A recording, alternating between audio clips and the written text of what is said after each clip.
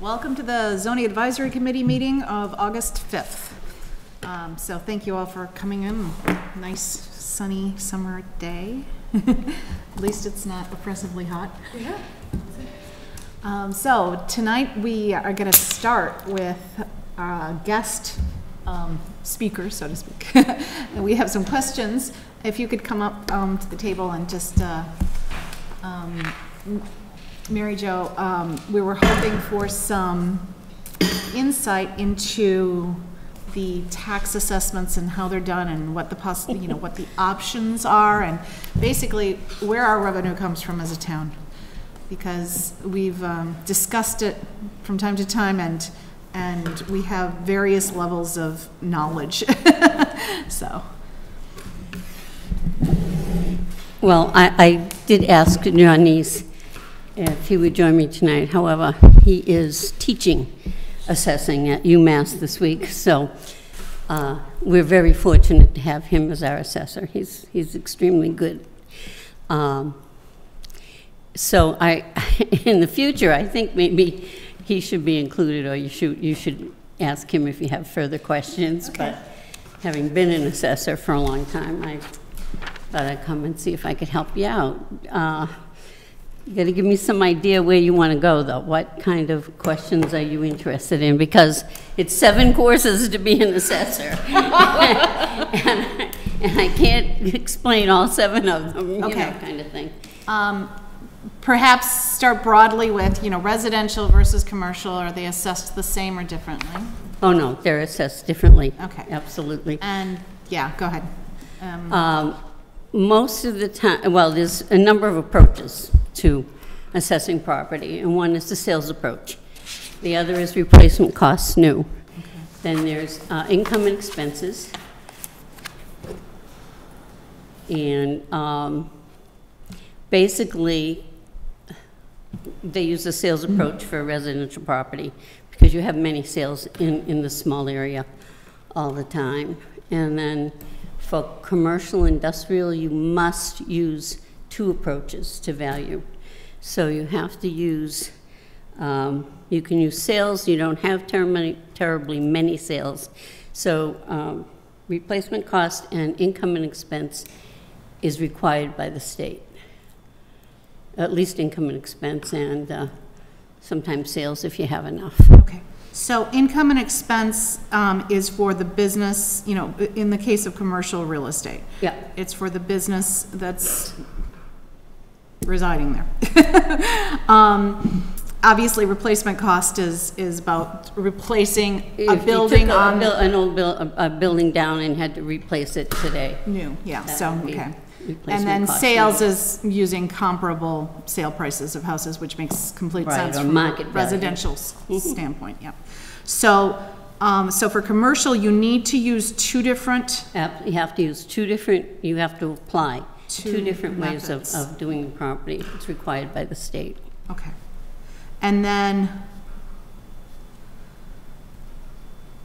um, and is that every year you, you do that as, you did that estimate by two methods for every property that's You commercial? adjust, you send out the income and expense forms, Mm-hmm. and then you adjust property every year for sales, you know, differences, and um, income and expenses. But it's not necessarily, do you revalue the property every single year? You adjust uh, for- mostly for new properties and things like that. Um, I don't know how to explain it. You are required every three years to do um, a re- a semi-revaluation, and every six years to have a reval company come in and do a, a big revaluation. But even on the third year, the state comes in and pulls your records and takes a look at, goes out and takes a look at what you're doing and how you're doing to make sure that you meet their requirements. Okay. So it's adjusted annually, but, um, but larger, um, And the annual revaluation. adjustments have to be reported to the, to state too, Yeah. and how it's happening, and, and they okay it before you can do the recap sheet, Okay, which is how you set the tax rate. okay, So every year, they're, they are involved okay. to some extent.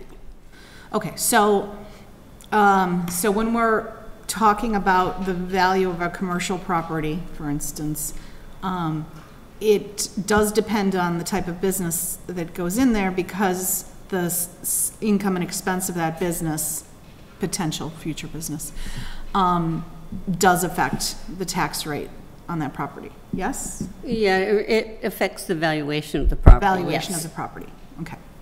Um, yeah, thanks for correcting the terminology I'm using, because I know That's I'm- okay. I'm all over the place with it. The best businesses you can have, however, are businesses that are going to stay here a long time. Um, so vacant properties, how are they assessed? They're assessed as vacant properties, and it depends on when they're vacant, how long they're vacant. Um, They're not bringing in income and expenses, so they are definitely assessed as a, as a vacant piece of property. Um, So, so is, you know, They're, they're not given the same value as, as an, an ongoing business at that okay, time.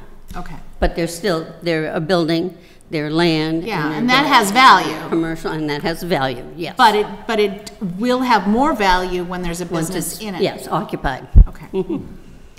Va- okay, so vacant, um, And we'll have personal property too, usually once they're occupied. right, and personal property is, you know, obviously equipment and things like that. Used in the conduct of Used in the doing conduct of business. business. An example I was thinking of earlier was um, these uh, storage facilities. Yep. Now, some of them are just big, empty, not empty buildings, but, you know, Yeah. storage buildings. Others are very, very highly assessed because they're climate controlled, they have all kinds of air conditioning and all kinds of, of special equipment. You know, Some of them have a lot of uh, forklifts and things to move stuff around. And uh, I know I have one facility in Plainville that was just state-of-the-art, and, and it brought in quite a bit of, of tax money.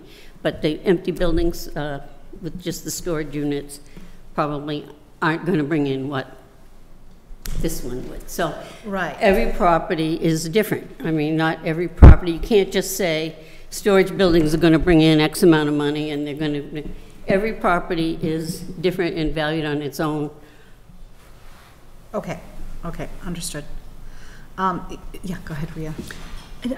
Mayor, do we have any differentiation um, between a property that's a lease and a property where the company owns the property in terms of valuation? You mean it's a a company owns the property, is leasing the building, Versus a company who owns the owner building? and occupied? Yes.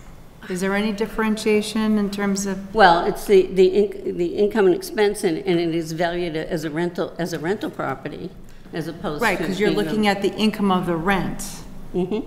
Versus if an owner-operator doesn't Right. have a lease? Right. Is there, how do you make the Well, we have leases, and, and we have uh, all kinds of state Guidelines? guidelines and other properties that are, are assessed the same throughout the state that we can tap into.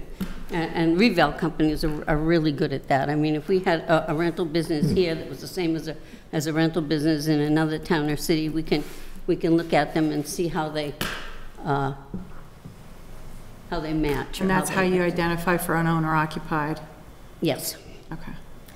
So, I'm sorry, just to clarify, if, um, if you're running a booming business Yep. in a property that you're renting, the assessed value of the property is based on the income and expenses of the, Rent, the owner that's The renting? rent. Or the business that's in there? only. Well, it's, we don't assess, we assess the prop, the property itself, and it wouldn't be on the, the booming business necessarily that's in there. They would have personal property, Personal property, yeah. yes. Okay. Uh, But the, the owner of, of the building is assessed for the building and the property, and he has to report the income. uh, uh, He has to report what he's getting for rents and things like that, and all those rents are taken into consideration, like a building that rents tons of office space. All of those rents have, have got to be reported and then figured out per square foot how much the building is worth. Okay, interesting. And that's private information. That's, yeah. So, sorry, one question that uh, came up during the discussion was, just as you said, the income and expenses determine it. Does the business hour matters? If a business is, uh, if the, if it stays open for longer, the income is higher. Does it mean that the tax revenue is higher because of that in any way, or doesn't, hours Could be, don't affect? Could be. Could, it could? But again, it's based on the rental income and Right. expenses. It's not based on the business. Right. It's property, it's property, Property, it's not, real estate tax. yes, it's real estate Right. tax. Is anybody exempt from personal property, or do all businesses pay it? Well, we just, we just passed a bylaw in town that people under, I don't know, it was a thousand or, or two thousand in personal property won't be taxed because it's, a thousand dollars is the tax rate, so you could get seventeen dollars for somebody who has a thousand dollars in personal property, and the town meeting voted, I think it's now two thousand, that they would not go into the personal property because it costs almost as much to send the bills out and collect it as it does to, you know, to go through it, yeah. And um, with educational or philanthropic institutions or um, um, museums or things like that, um, how is that? Now you're in a complicated area. Um, Some of them are exempt, depending on the nature of, some of the philanthropic or, or educational things that rent their buildings out, you can charge, you charge them for that. Okay. So it some- it depends on how the, how the property is being used. Right, okay. So it's completely exempt, like they don't pay any taxes whatsoever? There are some. Some, okay. Some categories are. All right. If you're exempt from real estate taxes, are you typically exempt from personal property taxes also? Or are Yes. they separate? In a, a lot of cases, um, some school kind of buildings or things like that, that are exempt from real estate tax, often give us a payment in lieu of taxes. Yeah. And they do it to cover their fire and protection, police, and that sort of thing, and they will give the town, and it's done in a pilot program, and they, they make a deal with the town, and we have, a we have a couple of those Okay. That wouldn't really, don't really have to pay taxes, but, but they do. They enter into a program in which they make a payment in lieu of taxes to the town as a good citizen. And we do have a couple of those. All right. Any other questions? Okay, I'm gonna summarize what I heard, so I just make sure that I have my notes right. There's so, there's so much. I mean, you know, when you take each of No, these we- we- courses, it's like, ugh. And, uh, Years of study down into one page. Um, Um, okay, so residential property is done based on uh, the Market value of the mostly. property and the real estate because you have, itself. we have tremendous amount of sales in And order a to- lot of, yeah, n- sales of the properties are- can be used for comparisons, so You that's, that's compare, you know, relatively yeah. easy to. Um, Businesses are done based on, um, two methods. Right. I'm not gonna ask how you average and figure out which one you. Mm-hmm. Um, And that's usually for Hopkinton, you're using the sale of properties or comparison properties and. Or replacement costs, I mean, whatever, whatever you can, because uh, sometimes there's no sales. Uh, But that is one of the values of having a reval company, is that they have all this data Right. on what sales in all the other communities throughout the state, too. Okay. So you can find a like property, and then you have to adjust it for time, expenses, and, and the town itself. Okay. The location, you know, you, you can make adjustments with, it within the sales Okay. approach. And then, um, income and expense for the business, for the owner of the property, um, goes out questionnaires and, and, um, and that is used for one of the valuation assessments. Right. Or adjustments. Um, reevaluation's done, you said on some sort of three-year, six-year There's an, uh, schedule? There's an uh, adjustment every year, Mm-hmm. And then there's a three years, the state comes in and, and takes a look at what we're doing to make sure. So it's, it's like a mini reval year. Okay. And then, uh, on the sixth year, it's a full-blown reval. Okay, got it. So the income and expense of the owner, but you also said the personal property of the actual business that's running Is. is also included. So there's, Well, there's, no, the personal property would go to the business. the personal property. There, it's there, like, if they have forklifts, or if they have, uh, Okay, so, so for an office building, this is one of the pieces I might have gotten wrong. Yep. So, for an office building, um, that is being leased to, to various businesses, um, you're, you're consulting with the, um, the owner of the property, the owner of the building. that's on the real estate. Yes, that's but on we the real can estate. Do the individuals. The on individual personal businesses, you also look at the personal property, and you Mm-hmm. add those things together. No. I'm not They're that. separate, they're separate. Okay, but Some people just get a personal property bill and no real estate. Oh, okay, okay. Got it. I understand. It's a different, different bill. Okay, I get it. But the income and expense, if a business is leasing their, um, their space, the income and expense of that business is not part of the tax, um, basis because it's They just, don't own it's the just their property. rent. They don't own the property, so that's not real estate tax. Okay, got it. The owner of the building and the rents and the, Okay, all good. that sort of thing is done, and then it's Okay. given a cap rate, and it is, a- it's, it's just huge. Okay, and so. they- Fun, they fun to do, actually, but, So occupied properties are obviously higher value than the exact same property that's vacant. Um, for- And I, Let me you know, give you- when I let me say just- higher value, I'm saying for the town revenue, tax revenue, so. an, an example would have been GM when it went out in Framingham. The, the tax was, the evaluation was lowered considerably while it was vacant, and, uh, Okay, certain people in the town went kind of crazy because it was a lot of money that wasn't coming in, but you can't assess for something that's not there. right, And once it was occupied again, then it was assessed differently again. okay. And is there generally a, a lag time of, you know, when a business is getting up and running and, or, you know, it? it Well, property, property yeah. is assessed as of January 1, except we have a Hopkinton bill, which we initiated a good number of years ago when I was working in the office, um, where new construction is brought up to July 1st. So we get that extra, uh, that extra six months for new construction. Oh, okay, But uh, for the most part, every year, property is assessed as of January 1. For, for any property that's newly constructed, is it at the point it is issued an occupancy permit? Or when is it, when does it officially become part of the tax rolls Well, we can, we can get it in increments if, if we, Oh. if it comes in, in certain, certain amount is, is, is reached or done. Oh, yeah, go I ahead. mean, it doesn't have to be fully completed Okay, to be taxed, but you have to tax it, you tax it the percentage that's done, okay, as of January 1 or July 1st. okay. Go I've. I've seen a lot of properties that are built and leased uh, to national companies, and the combination of those is much lower than when they sale at a cap rate.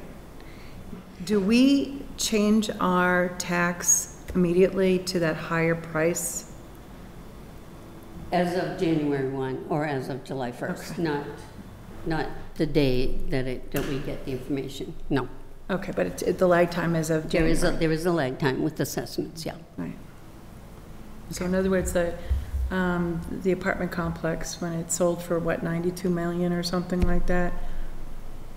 Was like four times what the value was originally Yeah, Yeah. when it was built. but it was, but it was, you know, only up to a year of lag time. Right.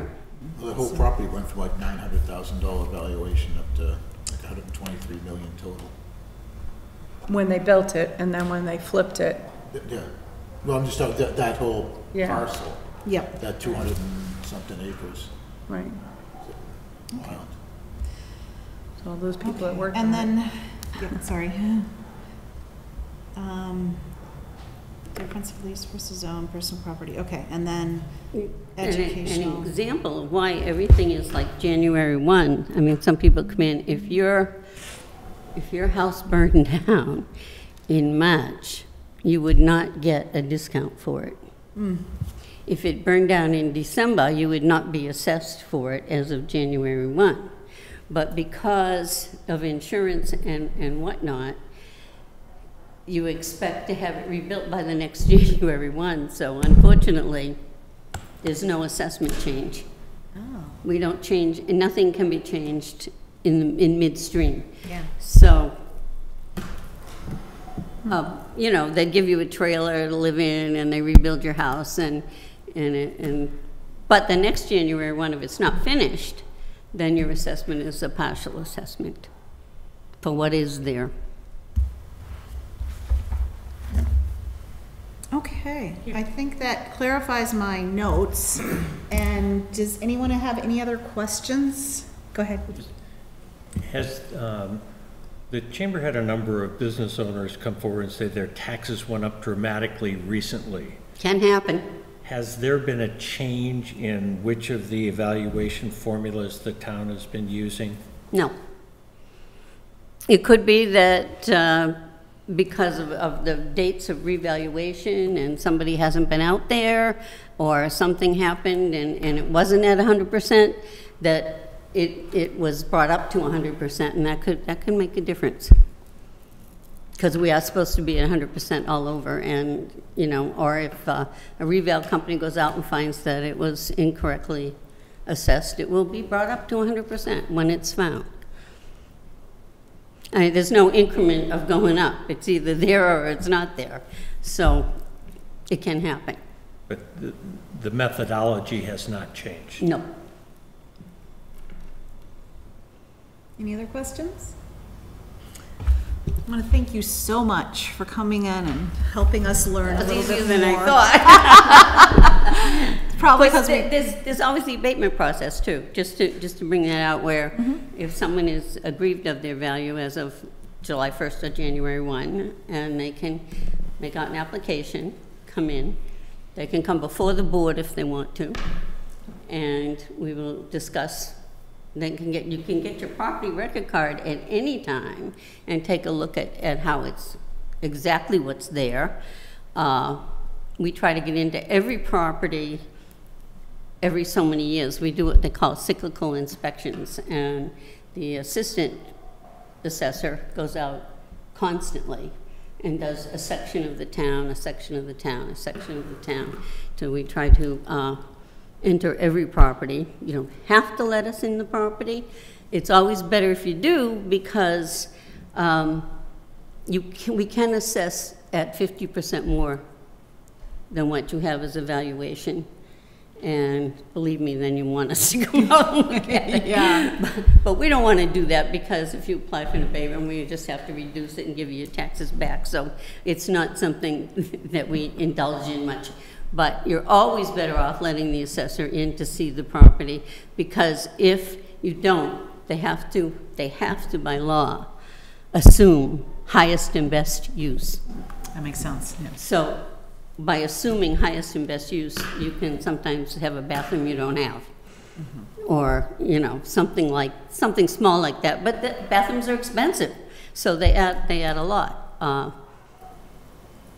So you're always better off letting them see exa- exactly what you have, and then you're assessed for exactly what you have, no more and no less. Good. Hmm. That's it? That's it. Geez, that uh-huh. was easy. Thank you so much. Thank you, really. This is very helpful to us. And like I said, next time have John in. He's out teaching the courses, and he's he's really a fabulous assessor. We're very we're very lucky to have gotten him. He's been teaching for the Department of Revenue how to assess property for a number of years now, and he is very good. That's great. Okay, thank you. Good resource. Okay, um, why don't we cover next the professional office district? And, um, I think that, um, even, even though, uh, there's negotiations ongoing with a developer to purchase that property, Um, Solar. and, yeah, but, but that they would develop part of it for solar and probably lease out the building. That's at least their, you know, very preliminary plans if they purchase it. I think that this discussion about whether or not educational uses and overlays and all of that, and all the research that's been done on that, is gonna be useful to us for, just in general, for the zoning, so. Um, if, if you two could walk us through all of the, um, information that was provided. I, um, I did not read all of the zoning bylaws from the other three towns that. I didn't. But I did, but I did skim them. I wasn't here last time, so I, I know it, We didn't, we didn't really talk about anything last time. so more than just what you and I met with John? So John um, summarized your discussion in a memo. Okay. And then he, and if you remember a few months ago, when you'd sent me um, some zoning bylaws and some summaries that you had found from other um, towns, he included those in a packet. And, um, you know, overall, just, you know, your overall um, impression of of what has been done elsewhere of and. what we did? Yeah, and what el, what else, what you found, you know? what you- So, so ultimately, the three of us sat down and talked about the property and talked about things that we, we thought would be a good use of the property, um, that would not necessarily cause terror in the neighbors. Um, We ultimately wanted to add education as a use, as a stated use, as opposed to a Dover amendment use. Ria has some um, thoughts on that, and comments I'm sure she's happy to share on that aspect. Um, We were trying to come up with uses that, that wouldn't necessarily take all the, the greenery out of the property. We want to, you know, maintain the green that's there, so we were looking for uses that would take a big area, but not necessarily a great deal of building. So we talked about rehab facilities, um, talked about training facilities for service animals, um, thought that would be a good use for the property. I was supposed to look for language that encouraged those uses, and unfortunately, I was not successful. Um, I think they just kind of, you know, they, those type uses fit in so many places that they don't need special zoning to be there. Um, If, if I may, a lot of that green space is, is leaching field, so a lot of that green space won't go away. Is what, I'm sorry? Leaching field. Yeah. Leaching field. And that's, well, in looking at the, the Uh, notes, So by that's default, another. by default, it's just, Yeah. it- it's always gonna be there. And there's a lot of wetlands on the property. Yeah. And there's the, the pipeline easement that goes through the property, which also provides some challenges. Yeah, oh, that's It's right, It- uh, this goes back now. Um, Not accessible by public transportation. It's about three and a half miles from both train stations as the crow flies. I know. Um, The, the property has a lot of challenges to it, and then it doesn't have water or sewer. So it's, They've got a, but they, um, uh, worked around that by, they, they have a ten thousand gallon storage tank, uh, inside the facility. They, they planned for, for, for, uh, further expansion when they were building the facility. They did some, so as far as, even though it's not s- set up for water and sewer, they, they can go a long time keeping, keeping sewage in there if they needed to store it for a while. Mm-hmm. And- Again, you just heard from Mary Jo that mm-hmm. some of these uses, educational and philanthropic uses that don't necessarily pay taxes, will pay in lieu of taxes to offset the expense of operating in that location using town facilities. And when you three were discussing this, what, what were your eh, criteria and your summary criteria of, of what you, you believe the, uh, you know, maintaining that neighborhood, um, character and so on? What, what criteria for a business use in that area? Uh, low traffic was one, that was a big one, yeah. because it is an accessibility issue. And at that point, I, I don't think we were aware of the water and sewer restraints that are No, we were only also on it. aware of the easement, Yeah. which cuts the property in half. Anything else other than the low traffic?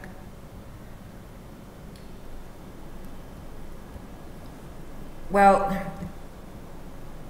I think I'd have to say that a lot of the things, like, we went through a lot of things and they were discarded for reasons. It wasn't necessarily that we were trying to avoid things.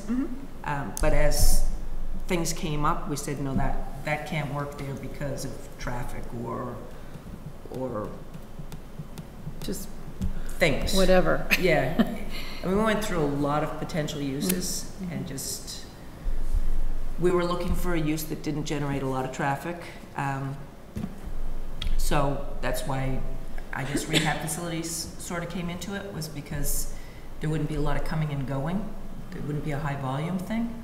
Um, And there's a lot of, you know, natural area that I thought would be conducive to that sort of facility.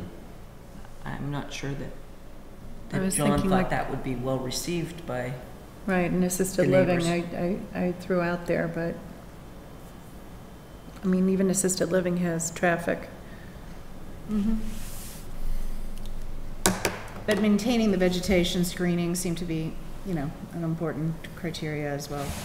We're Looking, Right. looking for, yeah, low noise. So Well, yeah. basically, something that fits, fits with residential.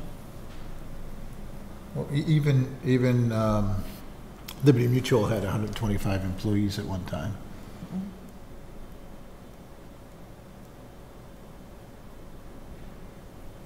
But they hired quiet people? They just, they they just grew from a, from a I know. garage, Right. basically, Yeah. into. into Well, this that- process has been sort of self-selective. Hmm. We don't have anybody, because there's so few people that make sense. So it's not like, I mean, trying to open it up to everything, most of the companies don't want to be there because it's so far off the beaten path. Okay. Maybe it would be a good spot for a um, high-level self-storage facility. That's true, It'd not be a lot of traffic, but Wouldn't The have the a, building's not really designed for something like that, though. it would have to be It's torn got- down and do another. It's really, it- it's, it's, It's got to be like a secret. yeah, it really would be great, great- as I said before, it's great for a school, because it's got all of those. Yes. It's got, all it's got rooms bigger than this, you know, seat, there's, there's a a half a dozen rooms that seat uh, between like 60 and 90, and there's, there's a lot of classrooms, and that's what it was for, that's what they used it for. It's a I mean, they shame. did s- do flyers and uh, outreach to lots of educational facilities um, when I talked to him. You know, unfortunately, there was a lot of spending about 10 years ago, and now there's sort of like a, a freeze on spending for schools because there's been such backlash. Hmm. Backlash. Because people are saying, look, you know, there's a lot more money going towards this than there is housing, for example. okay. I see. Okay. Any other questions or comments on? or This wonderful area? suggestions that would make it a, you know, a very desirable property. Should, maybe we should start working with the people that, uh, that may be purchasing it and see what, Yeah. you know, because now at least we get another, you know, we, we had, we had the, you know, the real estate people from Liberty Mutual, as you said, reaching out to educational facilities and stuff and see what, what the um, solar people have in mind. And maybe we can, Yeah, I thought the solar people wanted to cut down trees to put a solar field there. Yes, they would be cutting down tree clearing. Which, which, th- I mean, that, we're trying to avoid that because that's, I, I I know. Yes. And, and then if they get stuck with the building, trying to lease the building still, then it's like, okay, what do we accomplish? Really, you want to, you want to do something with the building because it's a higher, higher level. I- John, I've I- been trying to help you. I'm, I'm. I'm- Oh, I know, I know. It- it's I'm just- like, I've been it's- trying to go it's so- through It's this. just so sad, you know, it's the, it's, you know, such, such a, a, a, a great valuable property that's just tough to get to, that, that could, could be used for, s- you know, s- uh, a, a much better. You know, as soon as I heard that, it just, I just said, oh, they're gonna be, oh, they're gonna put up a solar facility, oh, great. Yeah. You know, but then there's the other side of it, that says, oh, solar's good, solar's good. Solar is be good. about I- half I'm- of- about- I'm not particularly a big fan of clear No, I cutting to put understand. up solar panels. No, I get it. Totally support solar on top of buildings, Or- Yeah. on or- top of garages, you know, Parking on top of lots. Parking, or yeah. reclaimed land, you know, re- you know, it's, uh, Right. So part of this property, a part of the, part of the, their proposal right now um, would be using already cleared land, but part of it would be clearing trees. So that would be the, um, the test track, I believe, and other, you know, open areas on the Liberty Mutual property. By, So by that- doing that, you limit the number of parking spaces for the use of the building, and that becomes a problem. Yes, but there's also exactly the, was, yeah. you know, we're hoping that the uses they find for it wouldn't be high, high traffic, high commuter. you know, so- Right, but this is a big building, so you really have to look at It's how many ninety parking thousand spaces. square feet. Yeah, it's not, it's not insignificant, and to use that other than for storage, Yep. Empty space, you're gonna need, you know, a lot of parking spaces. That's just a fact, Oh, yeah. because you can't walk there from the train station. So nonetheless, this is, is just a very preliminary for them right now. But, um, but, you know, I I think it mean, I would be a can, I can reach out to Bob them. McGuire again and see if there's been any other activity other than the solar, just to see.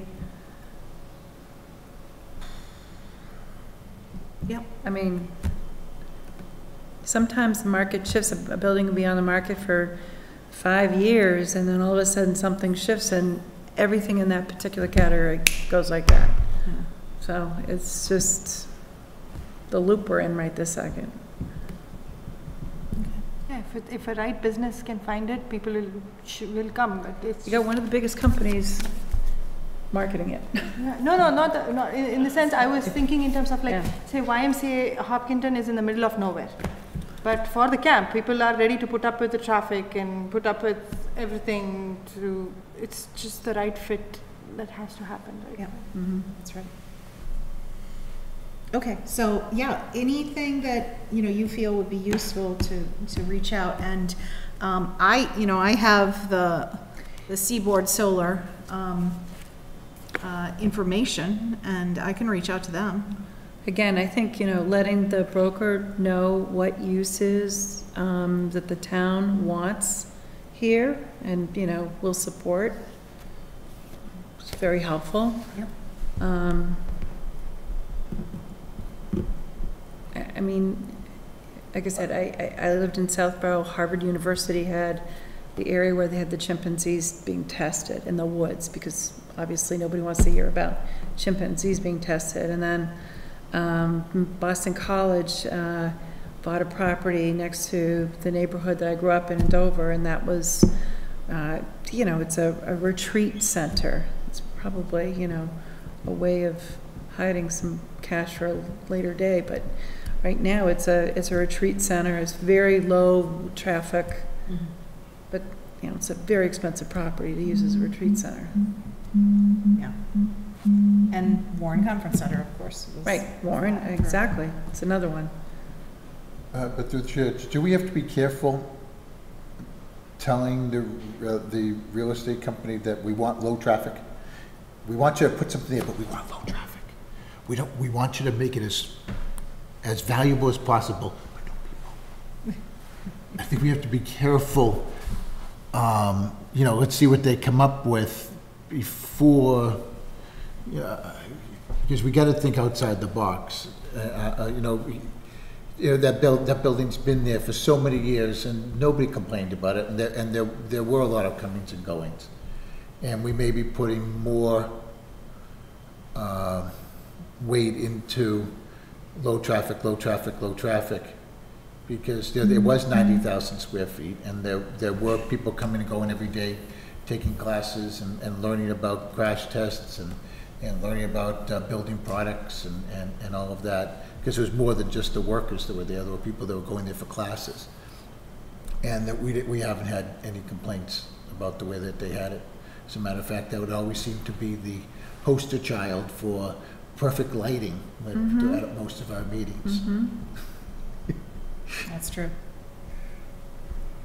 Okay. Mm-hmm. So I will, I will at least reach out to Seaboard Solar and just uh, see if they have any other information about, um, you know, potential uses for the building that they're talking about, so. um, And, and just let them know that we're open for discussion. So. Um, I obviously, you know, we, we have to be careful, you're right, not to commit to anything Well, may- and not to, you know, Maybe we should put it more like, we're, we're here to help, yeah, as, you know, as opposed to open discussion, we're here to help, and see what they come up with, because we, we, we do want the highest and best use. okay. Good, And I, I I hate to say it, but more than, s- more than a s- solar farm. yes. And that being a good segue into our topic for the solar overlay, which I thought Ted found some really interesting um, things about. Uh, Did everyone get his email? I saw it just as I was walking in the door, so I Okay. haven't even read it It's yet. pretty short, but, um, but it, but it also has, um, links to, um, to the actual bylaws, so, um, What day did it come? uh, today. Oh. So he, um, he researched solar farm overlay districts in Wellesley and Weston. So the Wellesley one was passed in 2017. Um, and his summary is Wellesley passed the bylaw creating the overlay district in the northeastern cloverleaf at the intersections of 9 and 128. Um, as part of their effort to qualify for the um, Massachusetts Department of Resources and Energy Green Communities Program. Um, And, you know, he mentions that we are a green community, we're designated as a green community, and we have been at least since 2010. But the bylaw established the Cloverleaf as the only location where large-scale solar farms mounted on the ground can be put in Wellesley. Um, it also, you know, has a minimum output of electric power production. Um, so that's the only place that ground-mounted solar farms are allowed. And the, the Attorney General approved the bylaw, and no entity has challenged it to date. You know, that was passed in 2017.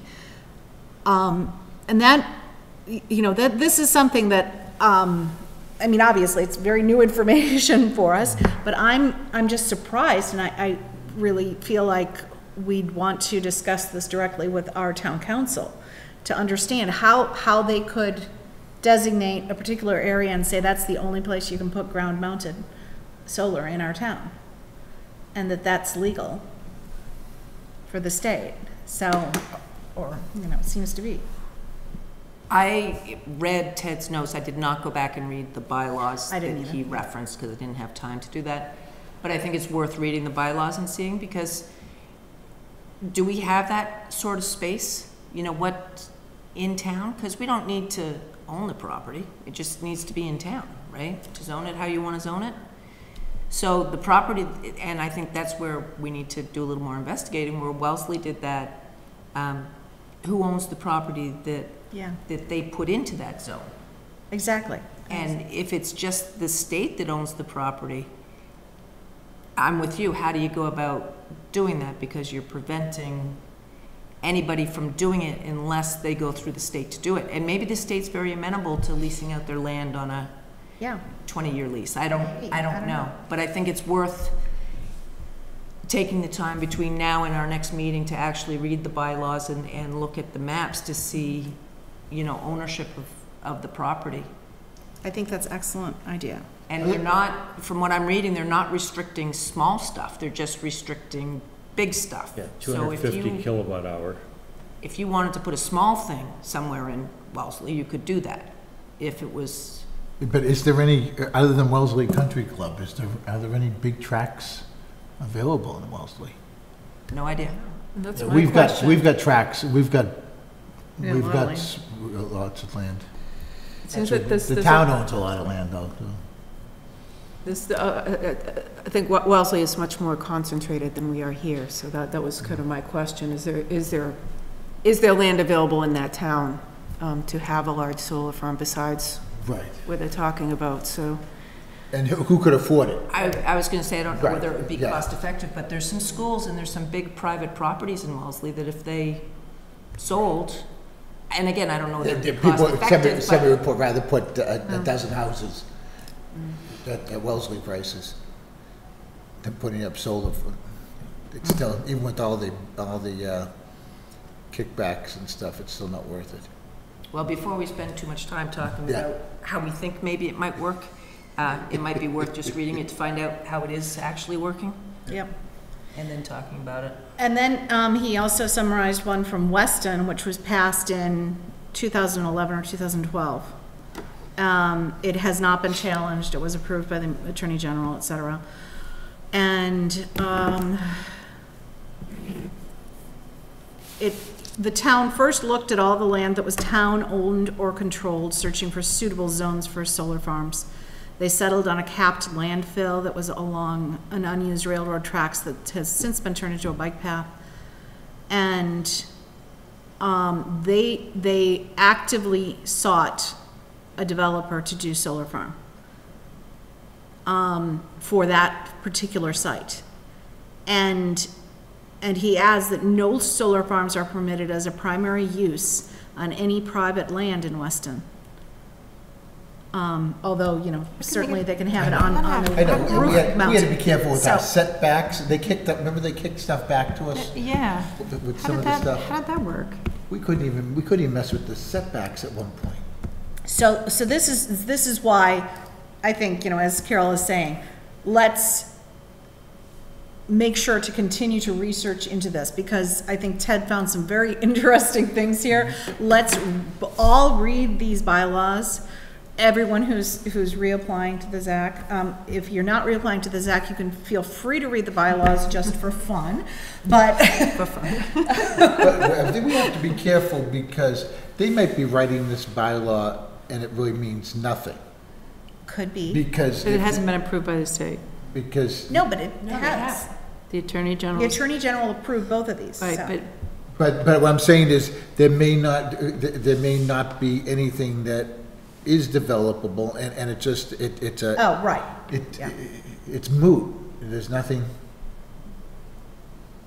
So that's, the- we have to look in, in context, because we're, we're, right now, we're looking at Wellesley and Weston and talking about solar farms where it's, it's, you know, and I'll check with some solar people and see what the price of land is where it, where it's just not viable.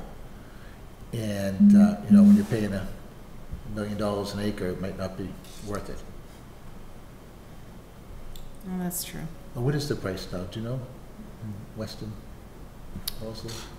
if you can find anything, it's just, that's the problem. It's not an acre, it's like, you know, a Yeah. sliver. Exactly. And um, Ted also, Ted and, and John um, also passed on a letter, copy of a letter that um, uh, Carolyn Dykema sent to the head of the Department of Energy Resources. Um, They're in the process of revising their smart solar incentive program, and she just had some suggestions, some of which were encouraged by Gary Trendle of our planning board, um, and reflect some of the planning board's um, recent issues with, you know, people clear cutting to put up solars, solar farms, so. Um, so that was an interesting letter, and I think that, um, you know, it just shows that we have, you know, other people, you know, encountering the same types of issues, and, um, there's some support for that out there, that, uh, Through the chair, just in response to what John said about land being available Yeah. in those two towns, when the state is looking at bylaws, I don't think they're sitting down and saying, what kind of land could they put these facilities on? You know, they're not checking the availability, they're just looking at it whether or not it's legal. Right, but I think As the a reason why it hasn't been challenged is because, Nothing's happened. Because nobody would have- can find, yeah, um, yeah. Maybe. But if, but if it, but if it, by having a bylaw on the books that has been approved by the, the Attorney General can help discourage people from, um, ground-mounted solar and clear cutting for that purpose, that's something to consider. but what section of our town would we designate to be, have it allowed? That's something You know what I we mean? can Because look at. because then that, those, those are the people, that, those are the, the forty people that will be here and say, wait, wait, wait, wait, wait, wait. Why'd you, why'd you pick us? Oh, we're gonna pick South Street.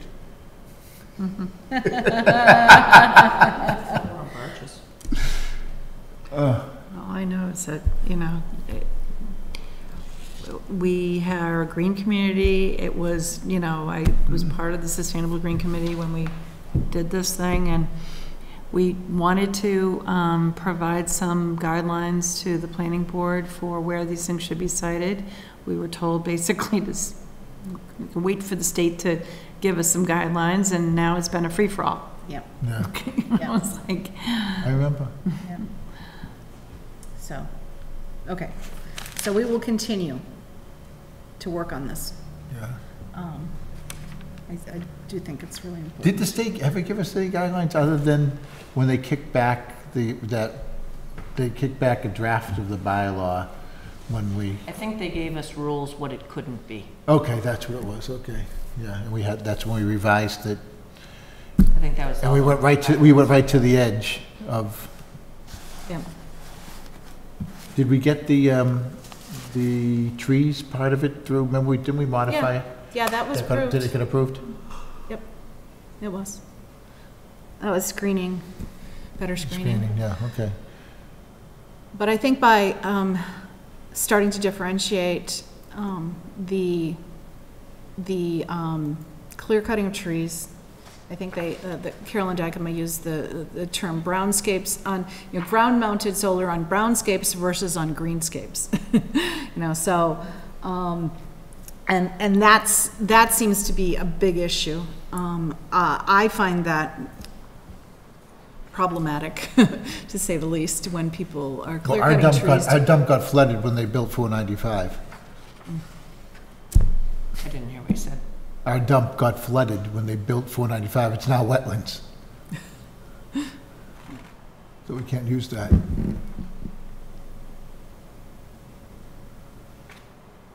Okay. We had, let's see. Other than the minutes, did we have anything else on the agenda for tonight? I'm just checking my email just so that I forget forget anything. yeah, that's what one of Anybody these have the is supposed to agenda? be.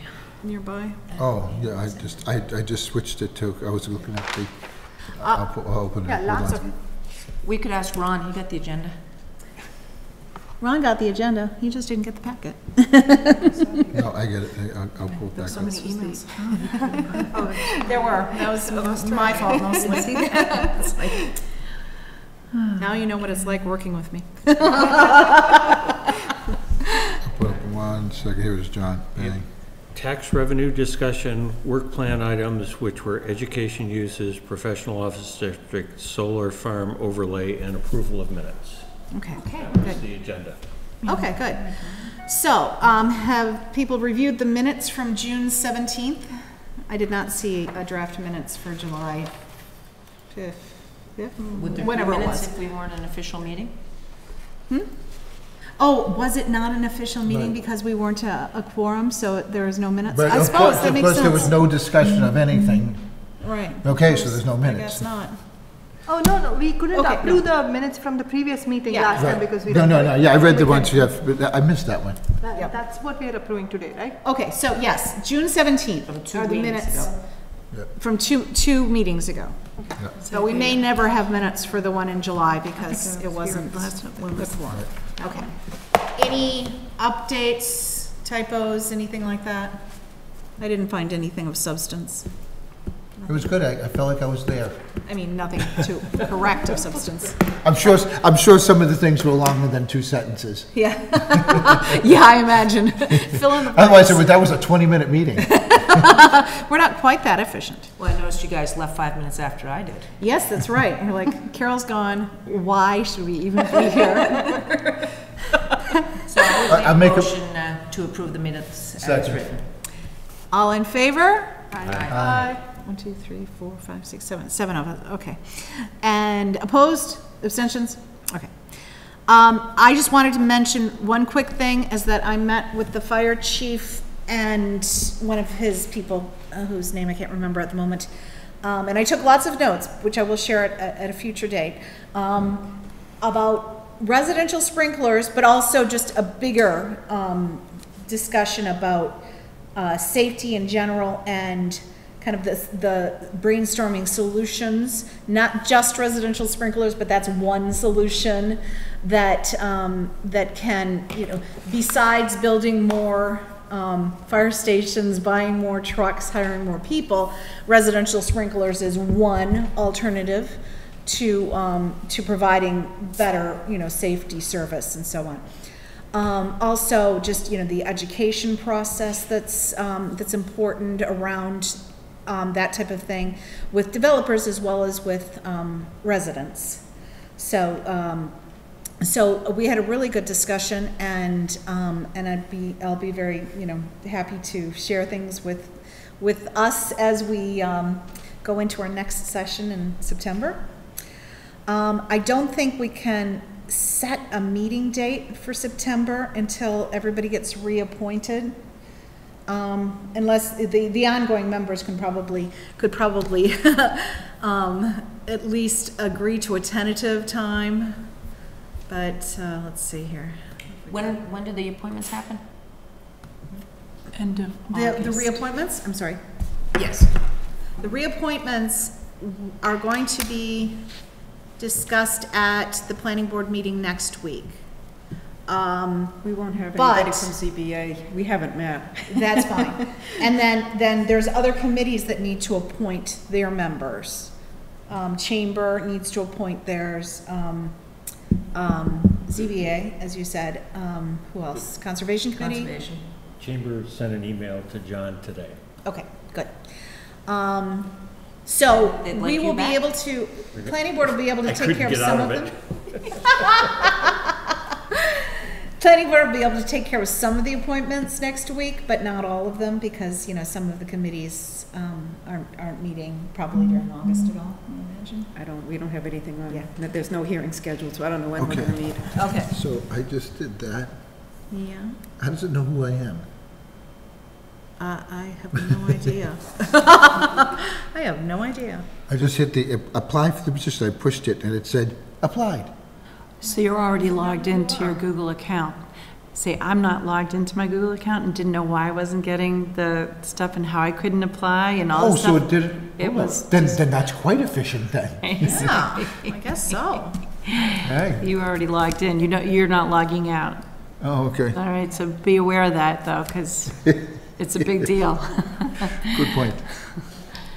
Okay, so there is a planning board meeting on September 9th, and that is probably when the rest of the appointments can be made. We might have to wait for ZBA to appoint and, you know. Um, So a tentative meeting, our first tentative meeting in September could be September 16th, all right? So if you want to put that in your calendars tentatively, and then we'll, we'll get a, a message out to that effect after the planning board has done its thing. Okay, good. I'll entertain a motion to adjourn. So moved. Any second, okay. All in favor? All right. Aye. Opposed, abstentions?